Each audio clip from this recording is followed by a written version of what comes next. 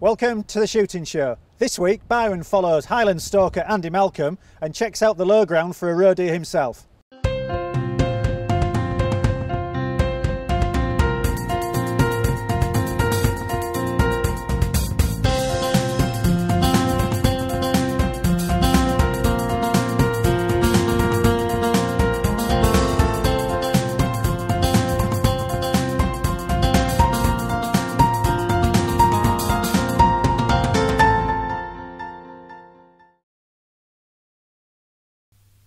With the red rut in full swing, Byron joins Andy Malcolm on the hill taking a young client for his second stag.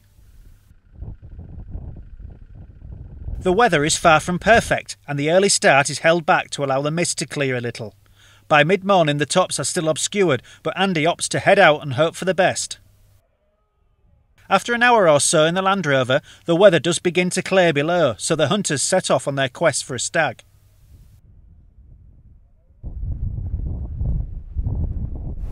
They're already watching.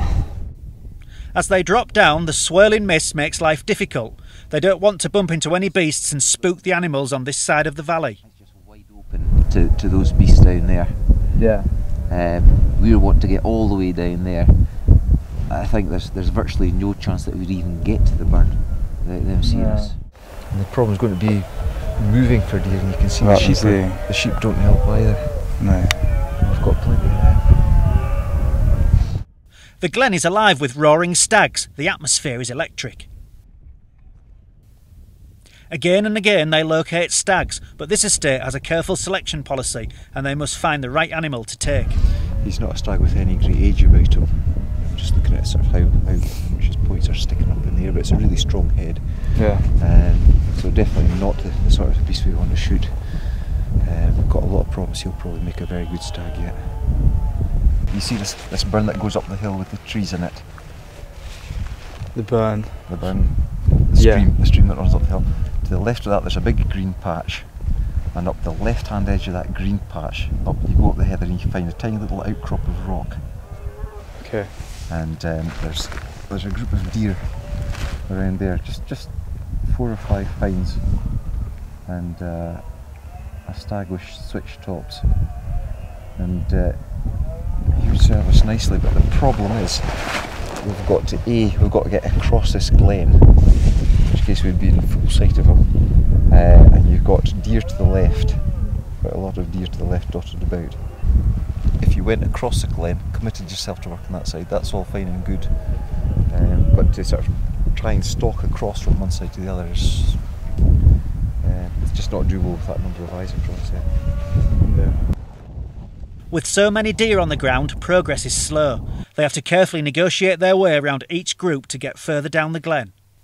Fortunately, at this time of year, the reds are preoccupied, which means you can get away with a bit more than you would later in the year. Nevertheless, they proceed with caution. Far below, Andy eventually spots a shootable stag. Keeping low to stay out of sight, they slip down the hillside and crawl into a suitable shooting position.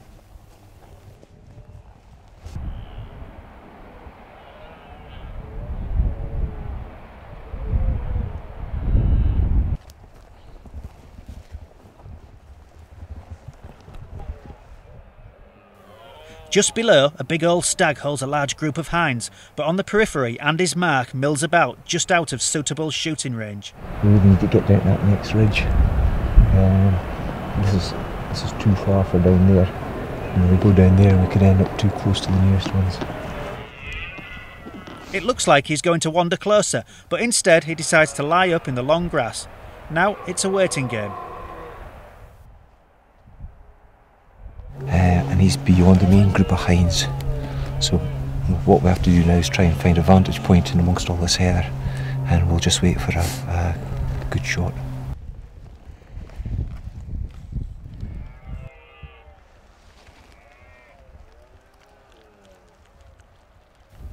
Time is against them on this occasion. After almost two hours of waiting, they have to abandon the stalk and return to the Land Rover along with the ghillie and Garin, who had been patiently waiting. Andy, we've had a, a really good day on the hill. Can you talk us through the, the day, how it went, and uh, why we don't have a stag back in the larder despite seeing loads of beasts and uh, you know, a couple of opportunities that are possibly would have arisen. Yeah, we, we were slightly unlucky today. We started off um, with thick mist right down to the bottom of the hills, um, so we were delayed in getting out. We had to wait until the, the mist cleared. Uh, and on top of that, uh, the guest I had out had to catch a plane, uh, so we had to be back at the, the lodge at half past four which really limited us. Uh, we only had, uh, I think, four and a half hours in which to do the business. Um, we've got a great going rut on just now. Uh, stags everywhere. Uh, there was loads of roaring, uh, a bit of fighting, um, lots of activity. However, uh, we've always had a very selective cull on this estate, and coupled with that, we're trying to establish our own stag herd. So there are a lot of stags on my ground just now that are actually feeders. Deer that stags that we know are coming to our winter feed, and these are the ones that we're wanting to hold on to because these are the ones that are going to encourage wild stags to stay on the place. So all this meant that we had to be very, very selective about we went what we went for. We eventually got into uh, a group of hinds being held by an enormous stag, uh, and there were a lot of younger stags round about, younger, smaller stags round about, and in amongst them there was two that would shoot, uh, both of which were on the far side of the group from us, which didn't help, and um, both were just out of range for the inexperienced shot that I had. We could have tried to have stalked closer, but unfortunately, if we'd gone any further down the hill, there would have been a slight ridge which would have obscured these beasts from our shot. So really what we had to do is we had to sit tight, burning daylight, and hope that these stags would come up closer to, to the, the hinds. Uh, as it was, that didn't happen. The big stag was very dominant, he was keeping everything away, and eventually, when we were getting very short of time, I moved the hinds on. The hinds went round the, the slope a bit. The young stags came up, but unfortunately, the, the one that we were after held back. If he'd come up with the other ones, we would have got the shot, and as it was, while we waited, the big stag came, chased them all away, and that was us out of time.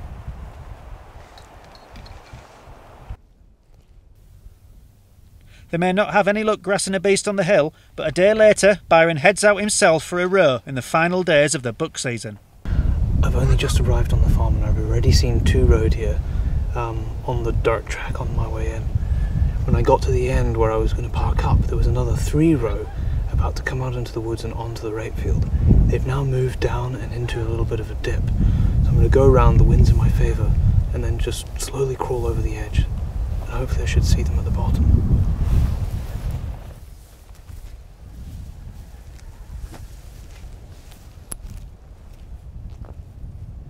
It's a chance for a textbook stalk and spy routine, and thankfully Byron has more luck than Andy, with the doe and followers quickly coming into range.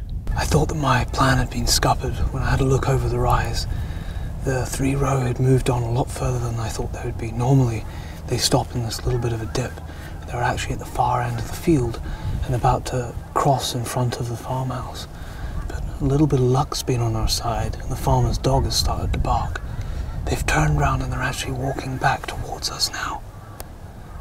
So hopefully, with any luck, they're going to walk back up the same route they took and back into the forest. We'll just have to wait and see.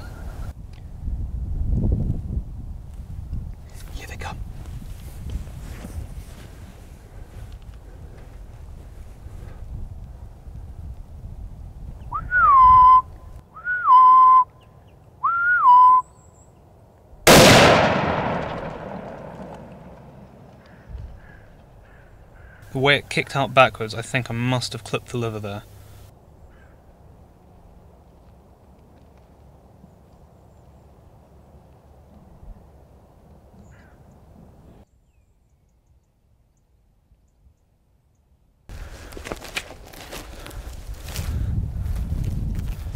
I just carried the kid off the farmer's crop. I didn't really want to gralloch it all over his new rape. Um, it's quite a, a, reasonable shot. Just came in the bottom here, tucked right behind the uh, right behind the front leg. Well, we've got another two days left of the buck season, and this indeed is a, a small kid buck. I wouldn't normally be shooting uh, a buck at this age, I like to leave them for a year or two so you can see exactly how they're going to turn out. However, on this particular farm, farmers been grumbling a little bit about seeing a lot of roe deer, and in actual fact, there are more roe deer on the farm this year than there have been in previous years, and I think part of that is because of the large tracts of rape that have been planted. Uh, in one particular group that he keeps on seeing is this doe and three kids that are not too far from the, the farmhouse, and those were the, the three that I saw this morning. I thought it might be a good idea to reduce that number by one. When I found them, uh, it was actually three buck kids, believe it or not. Uh, so I picked the buck kid with the smallest body uh, as a basis of selection uh, as the best that I could do, just to try and bring the numbers down, keep the farmer on side. If you don't have the farmer on side, you'll lose your shooting, somebody else will get it. So sometimes you have to do things like this where you wouldn't normally um, shoot an animal.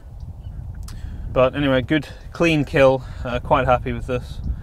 Uh, doe season starts in a couple of days, so very much looking forward to that and then just getting the numbers uh, back in check and keeping the farmer happy again. And now that we've got the gralloch out, you can see the damage that the bullet did. Um, today we're using 105 grain Geco ammunition. Um, like I said before, the entry wound was just tucked in beside the left shoulder. Uh, because of the angle that it was standing at, it exited just on the other side of the diaphragm. Uh, the stomach wasn't burst at all, but it did tra travel through the liver. Uh, so there isn't a hell of a lot of the liver left.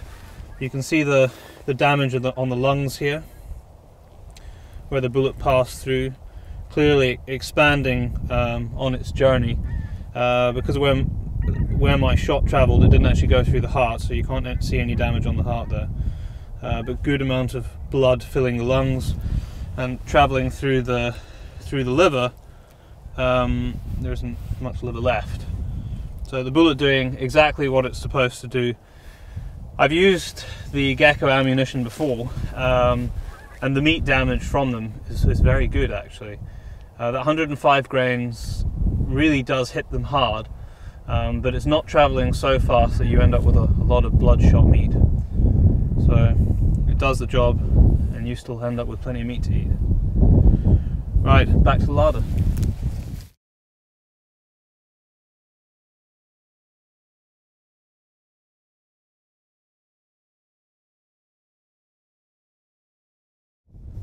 Byron there, saving the day. And now, the Shooting Show News. This is the Shooting Show News.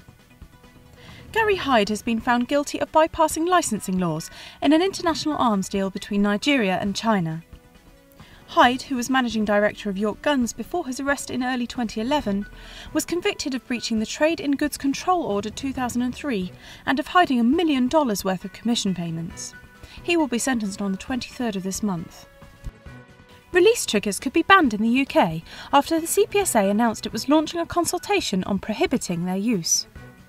The CPSA board initially took a unilateral decision to ban them in an attempt to move into line with ISSF guidance. But the association then made a statement saying it had put the ban on hold in view of interest the decision has caused. The consultation is open until the 30th of November. BASC has unveiled its new chief executive to replace the outgoing John Swift.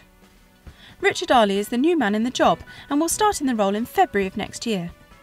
Richard, who has a long career in the food and agricultural sector behind him, said he was looking forward to meeting and listening to BASC members. Meet the new shotgun licence application form. Same as the old application form, or at least not vastly different. BASC has revealed the result of its vote on two potential new designs for the form. It found that virtually three quarters of shooters preferred a conventional style form to the one that can be digitised using optical character recognition. BASC will now present its findings to the Home Office and the Association of Chief Police Officers. Antis have stepped up their campaign for a lead shot ban, with organisations joining forces in a media drive. The Wildfowl and Wetlands Trust has seen groups such as the RSPB and RSPCA join its campaign and call on the Lead Ammunition Group to publish its final report before March next year. Last month, Food Standards Authority guidance on lead shot was leaked to the press before publication, leading shooting organisations to warn against exaggeration of the risks of eating lead shot game. And finally, shooters have the chance to win a personalised BSA PCP air rifle worth £500 in time for Christmas. All they need to do is fill in the entry form in the latest issue of Airgun Shooter magazine or download the entry form from airgun.tv. The winner gets to choose between a BSA Scorpion SE and an Ultra SE. The winner will be drawn on the 12th of December. That was the Shooting Show News. That's it for this week. Thanks for watching. We're out every Monday, 7:30 p.m. UK time. This is The Shooting Show.